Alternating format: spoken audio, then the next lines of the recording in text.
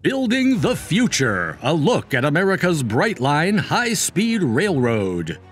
The future of passenger rail in America will be served by Brightline, a new private railway in Florida that focuses on a more conventional real estate strategy combined with a new, more streamlined form of customer experience. With regard to all of its operations, Brightline has a lot to offer. Florida has been the location of Brightline, but now it is finally growing. Recent events have given the green light for the start of Brightline West, a new Brightline expansion on the west coast of the United States. To learn more about America's Brightline high speed railroad, continue watching the video. To stay up with the latest transit and infrastructure news, subscribe to our channel Grand Projects. And also, don't forget to hit the bell icon to get notified whenever new videos are posted. With the help of Brightline, traveling between Miami, Aventura, Fort Lauderdale, Boca Raton, and West Palm Beach is now a breeze. Currently, the privately sponsored multi billion dollar rail service whisks travelers between these important cities at 79 miles per hour on fancy trains that run on clean biodiesel fuel while giving friendly first rate service all the way, a rarity in travel these days. Currently, Brightline connects three significant cities Miami, Fort Lauderdale, and West Palm Beach, as well as the two smaller towns of Aventura and Boca Raton. At the time of publication, there were 18 trains per day running between Miami and West Palm Beach, with seven of those trains stopping in Fort Lauderdale and 11 more making stops in Aventura, Fort Lauderdale, and Boca Raton. The journey takes 17 minutes between Miami and Aventura, 30 minutes between Miami and Fort Lauderdale, 16 minutes between Fort Lauderdale and Boca Raton, and 35 minutes between Fort Lauderdale and West Palm Beach. These time frames are less than half as long as the average automobile trip, and around one third if the rush hour is taken into consideration. Through Brightline, Brightline provides door to door service in addition to providing transportation from one station to the next. There are two phases to the high speed rail project. Fort Lauderdale serves as the conduit in the first phase to connect Miami and West Palm Beach. The line will be 378 kilometers long in total. For 314 kilometers of the route, already existing lines will be utilized, while the final 64 kilometers will be brand new.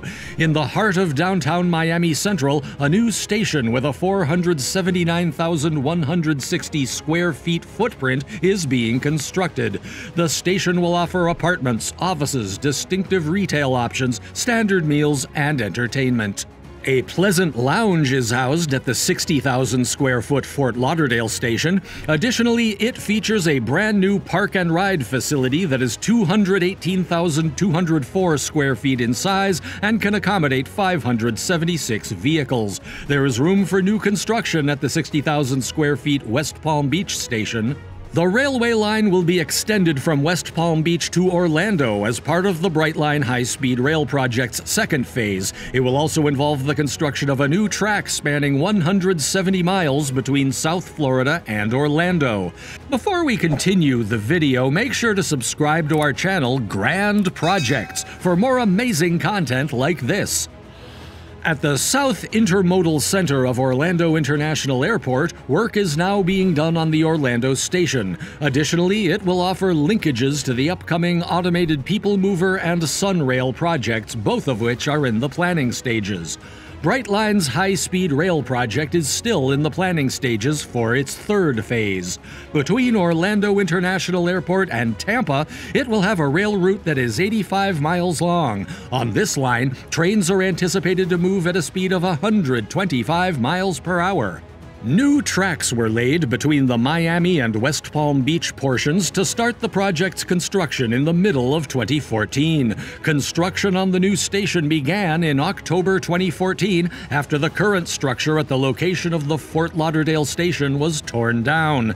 The station's exterior structure was finished in September 2017 and the inside was constructed in the second half of the same year. Four zones are involved in the construction of Phase 2, the first of which contains 70 acres of development close to the Orlando International Airport and the Virgin Trains Vehicle Maintenance Facility, which is located south of the airport. A 3.5 acre part of the airport is included in Zone 2, and Zone 3 contains a rail track that runs 35 miles along the Highway 528 corridor between Orlando International Airport and Cocoa. In Zone 4, the existing Class 4 track will be upgraded to Class 6, allowing trains to run at up to 110 miles per hour and covering 129 miles of rail. With one selection and three smart coaches, the coaches offer two distinct experiences. The seats on the chosen coaches measure 21 inches wide and they also come with free food and beverages. The seats on the smart coaches measure 19 inches broad. Two diesel electric locomotives and four carriages made of stainless steel make up each train. The locomotives are propelled by 16 cylinder Cummins QSK 95 engines, each of which is capable of producing 4,000 horsepower. The top speed of the Brightline trains is more than 200 kilometers per hour. The engine is EPA Tier 4 compliant, emits extremely low levels of noise and pollutants, and uses the least amount of fuel. In 2014, Siemens USA and All Aboard Florida entered into a deal for the purchase of five train sets. In December 2016, the first train set was delivered, and in December 2017, the final train set was handed over. The QSK 95 engines for the locomotives will be provided by Cummins under the contract. The Rockwell Group was in charge of designing the train set's interiors. In April 2015, GE Transportation received a contract to supply the high speed rail services signaling system. For the nine acre multimodal station that is being developed in downtown Miami, All Aboard Florida hired Suffolk Construction to provide pre construction and construction management services. Adachi Group and Moss and Associates were given the job of constructing the Fort Lauderdale station. For the provision of clean biodiesel to power the trains, Brightline has teamed up with Florida Power and Light Company. Under the terms of the two-year arrangement, FPL will provide more than 2 million gallons of fuel annually that is blended with biodiesel. Wharton Smith, the Middlesex Corporation, Hubbard Construction Company, Granite, and HSR Constructors are the contractors involved in Phase 2.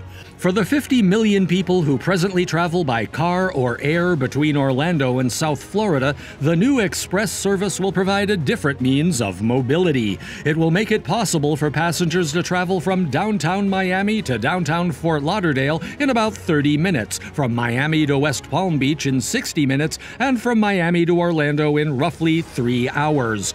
During development, the project is anticipated to generate over 10,000 jobs, and once operating, it will generate 5,000 jobs on average annually. That's all for today. If you liked this video, please give us a thumbs up. Make sure to subscribe to our channel and hit the bell icon to receive notifications. Also, express your valuable thoughts in the comments section below. Until then, bye! Also, spend some time watching other videos on the channel.